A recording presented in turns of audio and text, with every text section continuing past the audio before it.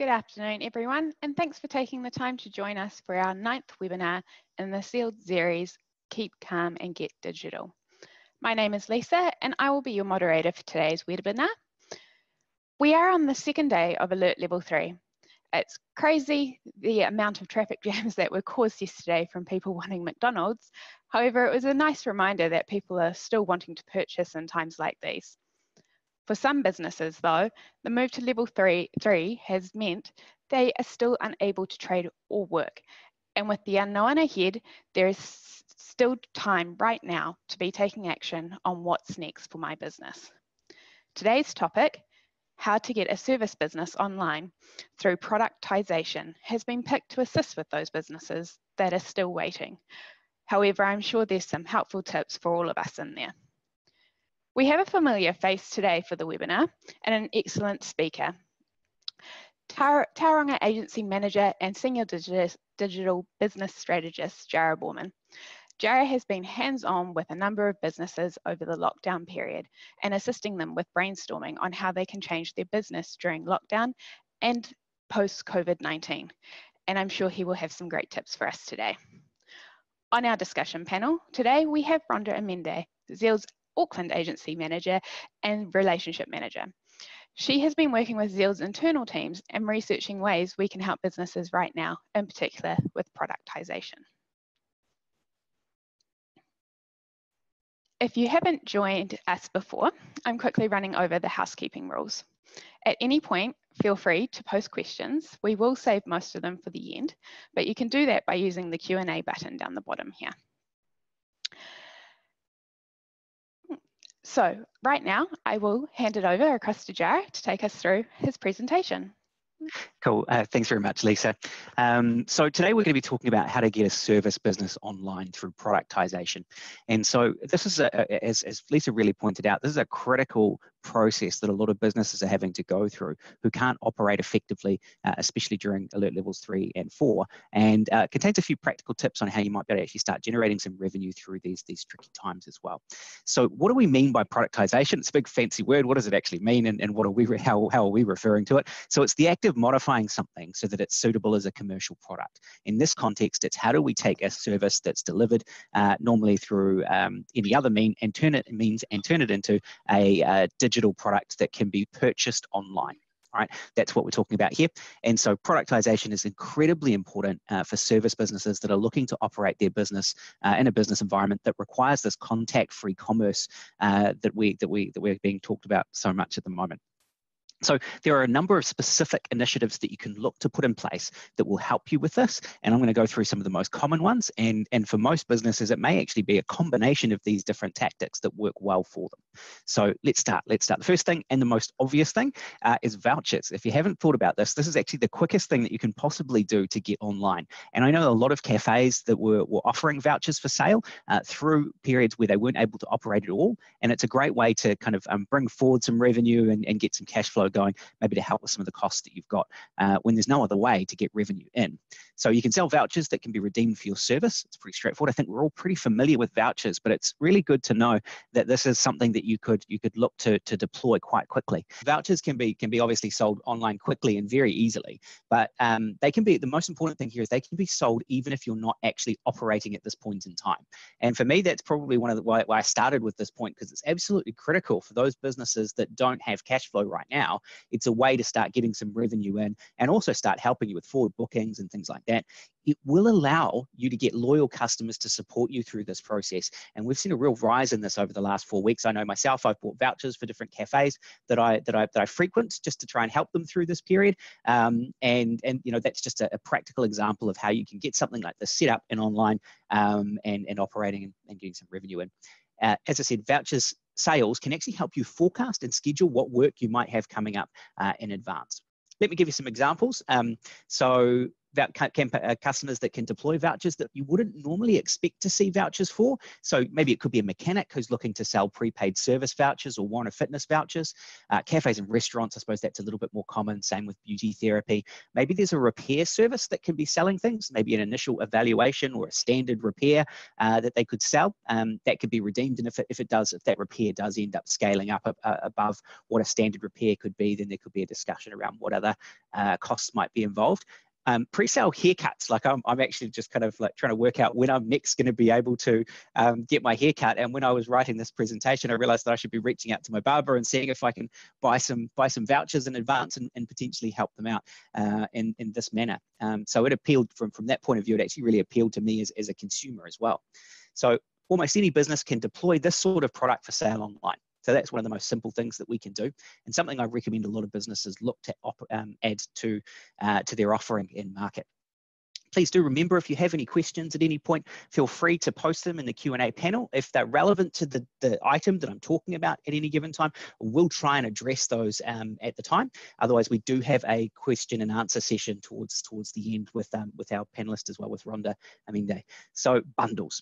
All right. I'm a big fan of bundles. Now, the reason for this, and um, that the main reason you would look at bundles, is it's a great way to improve the total sales order value. Instead of making a, a, single sale worth a smaller amount, you can obviously bundle it together, create greater value for a customer, and then look to improve the amount that you're, you're getting for each transaction. This is especially true for service businesses where there is a there is a, a, an opportunity to to bundle things together and create a really great experience for people. And so what you want to be thinking is there is there a product that potentially complements your service that you can sell alongside it? Um, or is there a related service that enhances yours that can be tied together? And i'll give you a couple of examples what i mean. Ultimately what you're looking for here and what you're trying to understand is what would be valuable for your customer when they're making a purchase? And look to give them an option that allows them to buy several things at once that would be really valuable for them Examples of this would be if you were selling a car service and you also sold a valet service at the same time right? And these are things that you could get up and, and selling online that you wouldn't traditionally have sold in this way. Um, potentially a, a, treatment with a skincare product as well that was complementary. Those sort of things can go very well together, and potentially the treatment could be a voucher, and then you've got a skincare product that goes alongside it as well. Um, it's a it's a it's a great valuable experience for a customer being able to get something that would that would work alongside the treatment that they're looking to get. I quite like the idea of garment cleaning and alterations along with a prepaid pickup and drop off service. In fact, this is actually a solution that I um, have got under underway for a, uh, for a dry cleaning firm in Wellington what they're looking to do is they've got their, their, their dry cleaning options for each of the different types of garments that they regularly clean set up as a product on an e-commerce site and the price includes uh, well when you're when you're checking out there's a there's a small five dollar pickup and drop off service that they've got bundled uh, into the purchase price. What that means is that someone can purchase that product online designate where on their property they'll have a pickup and drop off point then that dry cleaning firm will pick it up from that drop off and pickup point clean it and, and return it to the same spot afterwards. And it's a, it's a great way to bundle that all together and create a really great customer experience. You could do a very similar thing for appliance repairs and this is something, and, and computer repairs would be another uh, item under this. I think we're going to see a real rise in, in the repair industry over the next six months, especially when, when budgets become a little tighter in households and people are going to look to repair things more often. And on top of that, it is going to be more difficult to secure some computer equipment and some sort of appliances uh, with the world um, the way it is. We're already seeing it become supply become quite constrained for a lot of computer items already, uh, especially webcams actually. Um, and one of my favorite examples is of bundling and productization was actually one that I saw here recently in, in Tauranga. It was actually a restaurant that's pivoted to selling make at home meal kits. And so instead of having um, uh, meals that you can buy, they actually set up a whole bunch of kits and people can buy them and, and, and bring them home and, and make this amazing uh, meal at home. And while we do have meal kits being sent out from all sorts of different providers like My Food Bag and so on, having a restaurant do this is just a little bit different and a great way for them to pivot and start selling their experience online. So I really like that one. Now, subscriptions. This may not be something that you'd considered, um, uh, for me, this is this is almost like the holy grail of, of, of products that you can sell online, and that is because this actually delivers recurring revenue for you. So it's a little harder to, to, to pivot a service into this space, but if you're able to do it, it's incredibly rewarding because it, it, it gives you recurring revenue on a monthly, weekly, or, or annual basis, right? And so users select the frequency of the service or the type of service they want, and then the frequency, right? then they purchase online with a recurring billing subscription. The key to this is that the customer can make a small purchasing decision. So they're saying, I want this particular product. And then they, they set a frequency. And for them, it's not necessarily a matter of making a, a, huge range of purchases. They're making one decision and then it just rolls. And so it's much easier from a customer retention point of view and it and creates incredible customer lifetime value. One, one, one organization that's taken this to the nth degree is something like Netflix. They provide an amazing service with access to their content and they set it up on a recurring basis. And that's what's allowed them to become the kind of massive company they are today is by selling content on a subscription basis. So what does that look like for a lot of service businesses, right? As an example, um, we could look at a law firm that maybe sells access to templates for legal documents to help people self-service someone. It could be getting them, getting this law firm onto a bit of a, of a retainer there to access all of those templates. And if anything needed to be customized on top of that, they could then sell their other um, services on a, on a time and materials basis potentially your hairdresser could look to be selling regular haircuts at a, particular frequency and, and pre-book in the next haircut when you finish the one that you're doing. Um, I think that's a, that could be a really great way. There'd be plenty of people that would like to have this sort of recurring relationship with their hairdresser if they don't already have so they've done so, and, and setting that up with recurring billing would be a great way to ensure that you've got revenue coming through that you can guarantee. If you need a, a, high cash flow kickstart to your business, you could even consider selling an annual or a lifetime subscription with upfront payment. So I've seen this a few times over the years, often with software firms where they have a monthly fee for their software. You can see that at a certain point in time, they wanted to go through a growth phase. What they'll do is they'll offer a lifetime subscription to their service for a one-off fixed cost. And if you get a whole bunch of people buying that at once, it gives them a nice cash flow injection and allows them to, to operate um, or maybe take a take a take the next step forward. Another good example of this is something like Mount Ruapehu. Uh, when they've had ski seasons that have been cancelled in the past, what they've actually done is started selling lifetime passes for people at, um, at a reduced cost to get their cash flow coming through when they're not able to operate normally. So if that is, if you are able to look at some sort of subscription service with your business, there is a real opportunity here to package things up in a way that allows you to get some some real momentum with your cash flow when you when you start back up, or even potentially before you start back up. Um, yeah, it's a, it's a ski field example that I was talking about. Right. The next thing is online booking. So this is a bit tricky if you're not actually able to deliver service right now, but it's certainly something that you want to consider quite a, a lot when it comes to operating um, potentially under level two or, or level one. Um, this is because an online booking system allows users to actually select the time slot that suits them. I think most of us have probably used an online booking system, but in my opinion, I've seen that it, it, these sort of systems haven't been deployed anywhere near as extensively as they, they could be. And if they do come with, with, with payment options, um, and then, then what it means is that you can actually create more of a contact-free environment because all the payments are done in advance. People can book at their convenience anytime, day or night, so you don't have to wait for someone to give you a call or send you an email. You can lock in and take payment for a service outside of office hours and before that someone comes into um, maybe your premise for the service. So that's that's pretty critical because it means that you could maybe reduce the, the number of um, people that are administrative um, people and it reduces the amount of contact that you have when delivering your service. Um, bookings can have an approval process if you need. So it could be more of a booking request that an admin checks before confirmation.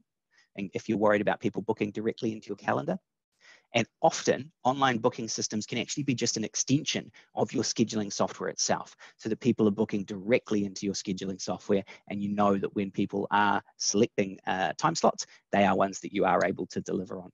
So the other key part of this is that it also allows you to collect an incredible amount of customer detail when people are booking, and you can add them into marketing databases and therefore keep in contact with them and keep people coming back and, and booking again. So this is quite quite critical. Um, let's see what happens here. So there we go. Just didn't want to switch through for me. So this is one of the most desirable ways to productize a service and uh, but you do need to be able to offer uh, this booking schedule to people. So maybe plumbers and electricians could start doing more of this sort of pre-booking uh, for an initial uh, site visit just to, to ascertain what was there. And if there's a fee associated with that initial visit that could potentially be collected up front. I was actually talking to a plasterer earlier on today who's looking to put this sort of thing exactly this sort of thing in place uh, more with a booking form and and a prepay for the actual initial visit which then becomes refundable if they go and um, pick up the quote later on. Any service that requires some sort of measure and quote, right? Being able to book in a time for a person to come to your house to do that measure and quote um, is highly desirable for the end user. What it also does is it allows you to maybe set expectations around what people need to do when you arrive on site, if that person even needs to be there, so that you can maintain any social distancing that's required right? So that could be blinds, windows, renovations, that sort of thing. Booking in for vehicle servicing and repairs is uh, a pretty obvious one as well. And so just think about the fact that it could be for a paid initial consultation or it could be something that you maybe offer for free as part of a quoting process. Either way, what you're doing is allowing a person to, to interact and book with you online and capture their intent to use your services immediately and allow them to select a time that's going to suit them when they can they can take that next step with you. So online booking is, is, is a great way to, to go. If you aren't able to offer service right now, you can't really open up a booking system to take uh, people's bookings right now because you don't know when you're going to be open. In that case, what we are recommending with a lot of people is to create waiting lists. And so if you're unable to provide that service now, what you could do, what you what you what you're probably going to need to get ready for is that under under levels um, two at one, you're probably likely to get some very high demand when you're finally open for business because it's going to be a substantial amount of time before since people have been able to use your service. So in that high demand kind of environment, waiting lists are actually quite a good way to manage this. So people could pre-book with you um, and, and go on to a waiting list, even prepay, and those people are the first that are allowed to actually schedule in with you when your business is finally able to open. So it's res essentially reserve a place on your waiting list and be the first in line when you are operating. And so that, that can take the form of a, a simple contact form, uh, or it could be a little bit more advanced than that and actually takes payment for that service in advance. So here's some examples. So perfect for any service business, unable to operate at level three. So we're talking massage therapy here. So hairdressers and barbers and beauticians. Um, and yeah, well, I think I was going to put another example there, but didn't quite get around to it. So this waiting list could be then combined with a prepay function or a voucher to just help with cash flow like we've talked about previously. Now, one final area where, in terms of online services that I think this is kind of my prediction is going to be absolutely huge. And part of why we're doing this webinar today is that online training is going to become the norm it's going to probably be a while before we can walk into a room with other people in it and and and and have a class or some sort of lecture or, or training solution. So I think this this uh, group of people are going to have to pivot, and a lot of them already have. But I can see online training becoming a huge in huge demand as as many people are wanting to upskill during this time. Potentially, they are having to look to reskill to get a new job, and so online learning programs are going to be massive if you are able to kind of create that content and make it available through an online training program or a, what's called a learning management system. Um, obviously, webinars like this uh, or pre-recorded training videos can be quite helpful as well. And so um, maybe you could sell access to training videos could be another thing that you could look at. And if you could do that on a subscription basis, that could be fantastic too. There's online testing. And the great thing is a lot of these sort of uh, implementation the implementation of these sort of things is actually quite easy. The technology available to do these sort of things online has been available for some time. And so you're not trying to reinvent the wheel. You can take make use of um, some pre-built tools to be able to deploy these things pretty quickly. And so my prediction really is, is that training providers that can get online and start selling their services in this way are going to do incredibly well. And we've already seen a few quite key success stories in this space. So that's um, so my expert tip is that the time to get online is now. Um, and so ensuring people can purchase your service uh, will allow you to operate across all the alert levels. One thing that uh, Lisa, I think, mentioned there about the people queuing for McDonald's, which is kind of a little bit shocking, is that we're hearing a lot of stories bubbling up already since we went into level three, where people just simply aren't maintaining their bubbles. They've had enough of lockdown, and as far as they're concerned, we've seen the back of COVID 19. The reality is we haven't quite completely got to grips with this, and especially the rest of the world hasn't. So there is every you know, op- if we don't start maintaining our bubbles and, and, and being very careful in this space, there is a, a, a, chance that we will head back up the alert levels and be locked down again. So my, my advanced tip for you is to be prepared for those alert levels to go up and down, have some contingency planning in place or continuity planning, and make sure that you're able to operate and sell your services in potentially some of the ways that we've outlined today um, so that you're prepared uh, if those sort of things do happen again.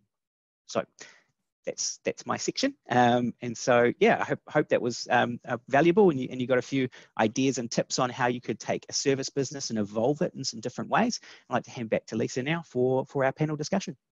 Awesome, thanks, Joe. One one question I just wanted to ask to you. Mm-hmm. Obviously, mm-hmm. a lot of this is talking about people's overall services. Mm-hmm. Um, what would be your advice for someone who is starting? Would you want them to say, you know, maybe start with only one or two services, or should they try and get most of their services um, online first? I think speed is everything. All right. So if you mm-hmm. can get online with one key service that you know is going to be valuable um, to, or that, that, that's going to be your most popular, then just start with one. Right. Um, you can easily add more.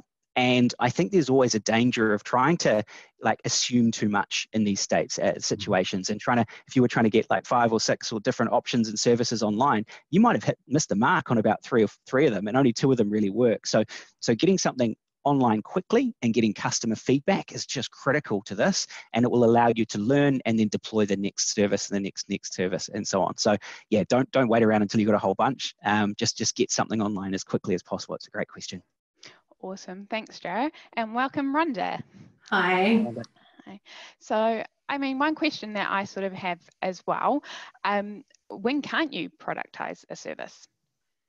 Um, I think one of the key things is sometimes people try and productize everything, and you don't need to. Like like Jared was saying, um, you've got to look for the products that have set processes that you can kind of define and keep to a certain scope. Um, and so it comes to the fact that what what can't you productize? It's ones that are kind of one-off jobs that they're not very often done. Um, and if they are done, the process to get them done can be so variable that it's hard to put a price on them or even a, a description to them. So that becomes really difficult, and they're probably best not being productized and to just do them on your, your typical way to handle them as an hourly rate with an estimate and that sort of thing. But pretty much everything that you find yourself doing regularly you, know something that you're doing regularly and repeatedly and that and the way you're doing it is not changing significantly between customers. You can productize and and doing the ways that Jara has has mentioned Mm. Do you mind if I just make one one little comment about that, Rhonda? You're exactly right. Anytime you've got something that's just a bit more custom and, and, and has a lot of variability to it. But one thing you can do with any of those sort of products is kind of bundle up a, a kind of a, a planning or a scoping session and sell that as something that's a bit more fixed price and that that can be sold as a product. And it's it's part of that entry process. Like that that process you'll go through to work out what it will take to do the job. That itself can be much more easily productized than than the whole job and so that's a great way to kind of bundle something together and, and, and get it get it online and, and yeah. and public. and it's interesting when you write down you might go oh well i do this one thing so differently for all my clients. Challenge you to write down the process because i guarantee that there might be um, abc that you do actually all the time. And it's it, when it once it gets to de it, that's when it starts to variable. And so you can productize abc um, so actually it, it's a matter of assessing the work and actually looking at what am I doing all the time and how you can kind of productize that. Yeah. Yeah, it's very cool. So we do have a question from Laurie. Um, so she's sort of asking what software can you use to sell your items on, on your website and webinars on your website? Um, who offers these services? It's a great question. So, um, so there's essentially if you're going to be selling uh, items on your website, you need an e-commerce platform, um, and so there are a range of different systems that you can use to sell products online. Generally, you're going to have uh, WordPress, WooCommerce, um, maybe Shopify. Um, uh, there's uh, Wix and Squarespace can do it as well. We've also got our Zest e-commerce system, which is very good for that sort of thing. So it really comes down to the actual product that you that you sell and what's going to be the best fit before you determine the content management system or the software that you sell online right? And then with the webinars we're, we're a huge fan of the zoom software. And so you can actually you could sell access to to webinars and then do the registration and delivery of those those webinars uh, through through the zoom software. We've we started using it a couple of weeks ago and picked it up mm. I, I, feel that pretty quickly. Um, it was pretty intuitive. So um, yeah from from that point of view I, would recommend uh, zoom for that and then and probably some a bit of deep research and thinking about exactly what you're selling before you pick a, a content management system for e-commerce I think one thing for me as well, and it goes back to not everything having to be perfect. Mm-hmm. Um, so, and likewise with the booking system, not everything has to be fully integrated with your website right now. The start might be your website to, to sell, and then the booking link could just be a link to it to another program that you have where that people can access and book, or, or things like that, and then work towards having them connected with your site. Um, so I guess what I, part of the message we are trying to say is is it's best to take a step forward um, mm-hmm. rather than sit back and wait and it be three months down the line and you're still waiting. Um, I totally agree with that. We see that often, don't we? Mm-hmm. Um, where people see the big picture and it's hard to take the next step, and it's it's breaking it down into achievable steps. I think it's important. Yeah, yeah, and where possible, just keep manual processes in place until you understand the frequency at which they're being conducted. And then, if, if it's something you're getting really bogged down from an administrative point of view, then then look to try and find a, a technology solution to maybe bridge that gap. As an example, if you're if you're selling the the the Zoom um, uh, like webinars and things like that, you could potentially just be selling essentially uh, access to just a simple product with no integration. And then once it's been sold, you send that person a, a link to the webinar that, that you're going to be conducting. It, it, may not need to be that fancy in terms of software until you get to a certain volume where that sort of thing becomes not practical and you've got some, some revenue to actually be able to invest in, in more of an automated system. Fantastic. Um, we have just, I'll jump to this other question first. Um, Michelle is asked, well, has told us she has a yoga business um, mm-hmm. and she is on, offering online classes via Zoom. Uh, do we have mm-hmm. any recommendations for simple online booking systems uh, for the more non technical people to install, or does it have to go through a tech person? I'll leave that one to you, Jared. Okay, cool. I wasn't sure. Um, cool. there, are, there are a bunch of different systems. Like there are um, just a couple of ones you might like to research is uh, Simply Book Me, um, Bookly, uh, or Timely. They're all three of those are pretty good, um, pretty good systems. Most of them uh, kind of can you can kind of deploy a standalone booking system with them, which is which is really straightforward. And so you could just link to them from your website. Whereas if you wanted to try and integrate those and have them as a, as a booking function uh, on your website itself, that that can just take a little bit more technical skill, especially if you want to have payment made as well at the same time. So um, I'd, I'd, kind of suggest anywhere where you start to get in needing payments and transactions, it's really good to employ someone technical there just so you get that right. Um, because the last thing you want to do is be you know having something that doesn't quite work when people are trying to give you their credit card because they're probably not going to do it again if it doesn't work quite right. So that part's critical. But if it's just the simple booking system that you're after, then there are a few things there you might like to try looking at. Awesome, thanks, Jara. And so I know throughout the, the webinar today, we sort of touched on around productizing and why people should do it. But I mean, what what really, why really should people focus on productizing, especially in the service industry? Uh, I, I just think it's really attractive to customers. Um, you know what you're getting, you've got a set scope, you know the price that you're going to get it for um, and it's quite reassuring as a as a customer that I, you know, it takes away some of those those negative concepts that you end up feeling before you press buy. um, so, and especially at this time, uh, you know, when only able to transact online, it means I can still buy while I'm while I'm online. I was actually thinking about your hairdresser, Jara, and I, I was thinking about that today because, you know, roots, um, is that, you know, when we go down to this level where we can have hairdressers, it's going to be at least 2 million of us all trying to get an appointment. Mm-hmm. And, and I was like, man, if I could just book in now, I, and, and, I'd be happy to prepay, and I'd actually also be happy to maybe even pay a premium if it was on a wait list. To get yep. in earlier. You know, so it, it, it's kind of interesting when I've looked at a lot of services as well. I've had to hire a plumber during mm-hmm. during this this breakdown period, and I didn't know what his call out fee. If actually he had that on his website and had the call out fee there, and I could have just pressed the button to to to book him in and to pay for that, it would have been a lot more reassuring in, in mm. having to call someone out. So yeah, from a customer's perspective, I think you'll end up um, having a lot more, more being a lot more attractive to them because it's a set scope, set price. Yeah. What's your thoughts yeah. I think I think so too. I think it, in, in its simplest form, it's making you easier to do business with.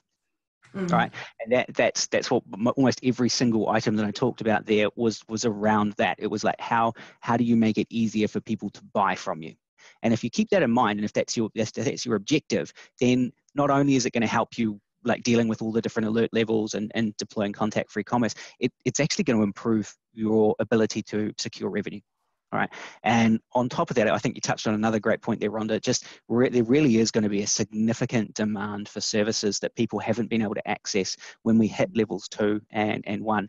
Um, and I, I, for one, too, would probably, I'd be like, if, if it was my, my barbershop, I'd be happy to prepay for a bunch of haircuts if it meant that I could get in there first when they opened. Like, I, I literally would. And I know that there'd be a whole bunch of people that would do the same. So there, there's a, there's a, there's a, just a simple service business that right now cannot make any money. But if they're deployed an initiative initiative like this, they could actually probably make more than they do in a normal week, where everyone's kind of trying to get secure their their um, their space in, a, in maybe a waiting list or something. Yeah, the other thought I just had was um, it makes it easier to market. You know, so if you've got a set product, you know, a bundle or a voucher, you can market those things, and then people get attracted to your website to see your other services that you haven't been able to productize. So it, it's a nice way to take your, your your brand and your products to market through through like you were saying the, the vouchers or just the you know the waitlist example etc that's that becomes a very containable way to promote yourself definitely agree and i think outside of the current situation of, of lockdown and covid-19 I was starting to see a trend out there with booking and, having that access through websites. Um, and I know myself, I actually started choosing, you know, my mechanic based on could I actually book online just to get this done? Because then I'm in charge of booking my own day or organizing my own time. I'm not ringing to go, well, when's available, and then having to go, oh, let me go and check that, or let's see if that will work. Um, and so I think people are wanting to start saving their own time as well um, and and obviously look for businesses that offer you know productization and being able to do it all online through a booking or and mm. payment mm. system yeah, I couldn't agree more. I've actually been talking to a lot of businesses about exactly that prior prior to this. A little well, during during lockdown, some people had a lot of time, but uh, before if we go back to before then, uh, a lot of people were really busy. And if and if I was for, for myself, for myself as an example, uh, when it comes to booking in for a service or something like that that I need, um, I don't have time to deal with that during the day. The first time I've got to think about that is not until I put the kids to bed and it's maybe eight thirty at night. And if someone can allow me to book in at that point in time, they're going to win my business right? Mm. I, am not. I, my decision-making process is at a time where where I'm not going to be able to give someone a call mm. or operate under those traditional circumstances. So if someone's got a technology solution for me, I'm going to take it, and and I know that that's a massive trend that we're seeing out there. Definitely. Um, so when when is the best time to productize? Now. um, I mean, in terms of your your business development, you know, if you're just a startup, it's the right time. If you if you're old um, fully fu- functioning business, now's the right time. you know, in terms of COVID, definitely now's the right time. So I think there's no no better time than now because of, of COVID. But I think even if you're a, a, starting up business, it's a good idea because of all those positives that we've all been talking about the marketing, the way that it's attractive to people, etc. It, it, it's a good time to actually put some effort into sorting out what your processes are to deliver a, a service and then coming up with a product for that. I mean, and, and if it doesn't work, if you find in delivering it that you end up losing money because maybe it takes you longer to do the service than what you thought and the price is not quite right, you can adjust it and change it. It's no no um, big deal. I think the important thing would be to try something and to monitor if you've got that tight, um, uh, and then adjust the product accordingly to make sure that you're still making money. that It's actually attractive to your to customers, and it, it makes sense to you, you know the whole industry or business that you're you're involved in. Mm. Yeah, I think the thing, the other thing to keep in mind is we've got some unprecedented market forces It's probably the best way to describe it right now. We've got a mm. whole bunch of people that are having to make purchasing decisions in new ways, right? And so if you've ever considered trying to evolve your business or your service business into, into some sort of product that people can buy, now's the time to try it because you've got a whole bunch of people that are almost demanding to buy in that way. Or when I say demand, probably even being forced to buy in that way. And mm. so you've got a, a, real opportunity there, I suppose, to take advantage or capitalize on that. Um, just as, a, I mean, and as an example with um, with Michelle, who messaged before, who's got a yoga business and she's doing the, the classes via Zoom. Like that, that's that's that's a that's a market requirement that we just would not have even imagined several months ago. And and so that's that's that's kind of her, her customers need to be able to operate with her in, in that way. Um, and I, would say that's true for, for almost all businesses out there at the moment that provide a service. There's there's just an unprecedented demand for being able to to use digital tools to to sell. I agree. Actually, I was I was thinking about an example with home cleaning. Um, I would, I, I, I mean, I'm working from home. We've actually got four people in my home all working from home. My cleaning levels gone up that I need in my home. I was like, man, if someone actually created a cleaning service, but not, not just a service, but a product, well, they'll come in and do a, a really good clean. Um, I've got a healthcare worker living in my home, so I, I actually need some reassurance with some higher level cleaning every now and then. That would be cool. So I do think it is an example of we're in unusual circumstances, the types of products that we're wanting is slightly different and we're more open to things being productized. So if you haven't done productization before, now's a good time to rethink it in light of that environment that we're in. Yeah. And I think, yeah, there is definitely a lot of different ways you can do it. And I just wanted to take it back to Jara's first point around vouchers. You know, I was just actually sitting here thinking, you know, right now I feel a little bit stressed. There's a lot on, there's a lot happening. Um, I want to reward, reward myself later on with maybe a massage or something. Mm-hmm. I'm in the mood right now to buy that voucher. Two weeks' time, it's gone. So mm. having the ability to, to perhaps reward myself now, but actually have the have the item later or, or the service later, I should say, um, could be where people are at. Because again, once we all are out there and, and able to, I guess, get back to some sort of new normal, um, people will be looking for those things just to have a break because you know being being inside or, or maybe having to have started homeschooling for for the last sort of month or two has been quite stressful yes. yeah yes. no that's the feeling around some people at work so what i will i will recap um, right now and let us all get on with our day um, but just where we are right now. So, what we know, so we do know things are not going to go back to normal in a hurry, even when the restrictions ease further. I know Jared touched on it, but we could be in and out of some alert levels depending on how we go. Um, so we are going to have to change how we do business to survive. Um, the opportunity there is in a lot of cases introducing digital tools, so you know, voucher buying as well as booking tools, etc., will actually help improve productivity um, and having people get access to your business as well. Um, prediction is those businesses that work out ways to operate in a contactless way will be more successful. Fully agree.